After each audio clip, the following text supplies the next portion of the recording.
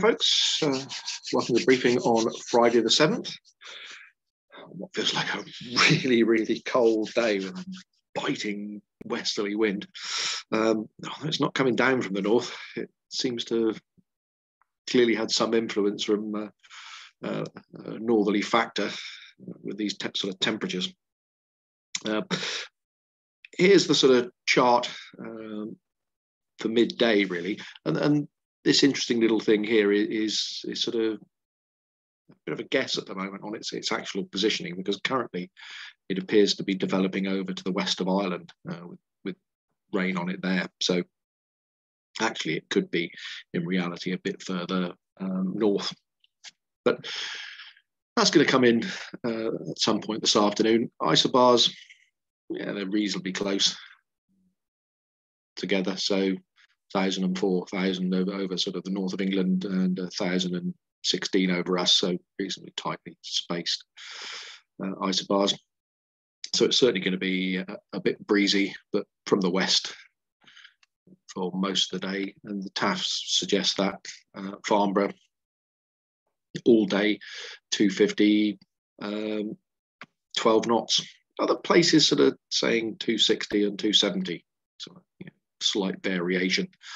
Um, nowhere showing particularly gusty, but I think you might find it sort of gusting around 15, 18 knots today. Certainly, if we get a few showers a little bit later, that will be the case. Uh, Gatwick, um, slightly longer term forecast there, saying between sort of 50 and 1800, uh, 8,000 meters rain broken at 1400 feet. So they're showing that rain coming in at, at some point. Uh, upper winds, yeah, 280 westerly, 30 knots. I think that seems to be pretty consistent about the sort of forecasts I've looked at. So yeah, pretty fresh at flying heights. And you can see exactly where the jet stream is laying across here.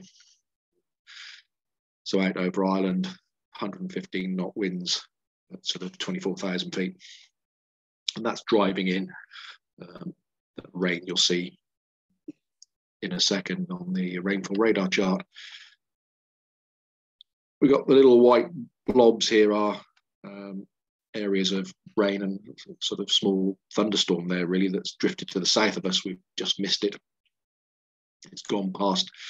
Um, and in here it's reasonably clear. A few little white blobs here in the Bristol Channel uh, coming this way and they are sort of small showers. Hopefully, they won't amount to much. If anything, they might just fizzle out. And you can see that's the, the main blob of rain we're about here. It's just skimmed past us. It's going down the south coast now. And here's your little sort of rash of showers that are coming in across here. We might see the odd shower. But what we really are looking at is the rain developing over Ireland here. There's little active area low, which looks like it's going to track across us uh, later this afternoon. It's coming in fairly quickly, as I say, driven in by uh, the strong upper winds. Temperature wise, boy, is it you know, five, five degrees, maybe six degrees out there, but the wind chill is going to make it feel a lot colder than that. Um, so I think it's going to feel pretty much like freezing uh, for most of the day. You know, the wind chill out there, it's be pretty cold. Um, and TopMeteo shows you know, nice and clear this morning. Run it on a few hours, and you can start to see these. These are the showers developing out to the west. Um, slowly coming our way. That's two o'clock three, four o'clock. So possibility that the afternoon gets wiped out, but we should get something this morning. Strong winds, that's for sure. Uh, their prediction on the rainfall radar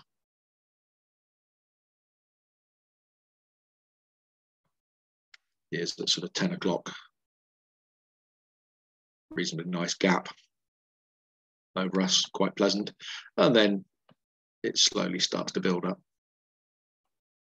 as the afternoon goes on and heads towards us um, mid to late afternoon. So fingers crossed, reasonable flying day. Um, bit breezy, but pretty much down the runway.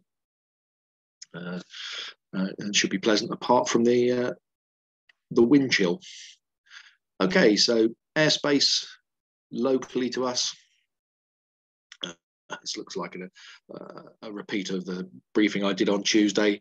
Uh, the only difference between Tuesday and now is that number 17 here, the numbers changed, and the hours of operation of uh, Fairford's ATZ is a little bit different. So that's active till uh, mid afternoon. Apart from that, nothing known to affect in this area. It's quite quiet. Uh, operationally, uh, we're going to look at how we're going to operate and then I'll look at jet movements. So operationally, we're going to try, because um, I think it's going to be soggy here with the amount of rain we've had in the last sort of 24 hours. So we're going to be operating on a runway only operation um, just for the moment. So launch point will be set up here. Uh, cables, we'll, we'll try them on the south side first of all, then gliders on the winch just there and the launch point vehicle will be just slightly north of the center line with the aero towing just off the edge of the runway um, on the edge here on the north side. Uh, and landings will be on the runway. So if you circuit to the south, you land on the runway. If you circuit to the north, you land on grass north side. Don't land on the runway because you'll, you'll be mirror circuiting otherwise to the same place. And remember, if you're landing on the runway, either one side or the other, and roll up to about 50 to 100 meters from the launch point. Don't roll any closer. If we're parking gliders up because we're not using them, don't park them behind the launch point, just park them on the edge, the northern edge of the runway here on the 2-3 intersection. So they're well out of the way uh, for gliders rolling up and you're not likely to have two gliders hitting each other. Um, I think that's about it really. Uh, the grass to the north here should be fine it's going to be a little bit soggy here and, and down in this area here. And we'll just see how it goes. Uh, jet movements. There's a forecast jet movement at one o'clock that I've seen. And also, I'm going to sort of quickly reshare the other movements. This this is for the Navajos. In theory, this is coming in at two o'clock, and then these these ones are departing. So it could be busy this afternoon with Navajos, but I'm looking at the weather, thinking, well, we may well be off the runway and finish flying by uh, by two, three o'clock. So that won't be an issue. But say jet movement, 737 at one o'clock, and then the Navajos after that. So that's what's going on today. Uh, I think we can uh, wrap up warm, have a quick coffee and then head out and uh, start pulling the gliders out. We'll go and do some flying. I'll see you out there.